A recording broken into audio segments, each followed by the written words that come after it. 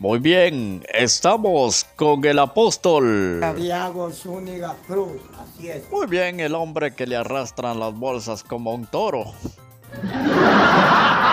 En esta hora de la noche le damos la bienvenida al apóstol Aquí Santiago. estamos ya un poco tarde de la noche, pero yo sé que ustedes están pendientes de esta transmisión. Muy bien, apóstol. Iniciemos con el mensaje. Hay que vivir en santidad, si no, no vamos a ver a Dios, ¿verdad?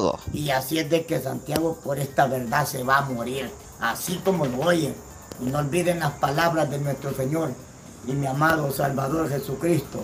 Ah, no lo olviden, que todo aquel que viene a Él le habla de esta manera. Ah, le habla de esta manera, sin Nelson santidad. Saludos, manito. Ah, o sea, en otras palabras, seguir la paz con todo y la santidad, sin la cual nadie verá al Señor. Lo dice Hebreos 12, 14. Escuchen estas palabras.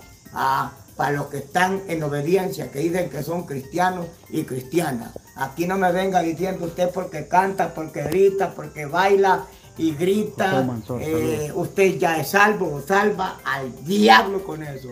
La Bueno. palabra dice que sin paz y sin santidad nadie verá al Señor. Si usted tiene odio ah, para su vecino, para la vecina, para el prójimo, usted no va a entrar allá a la mansión celestial. Usted va rumbo abajo.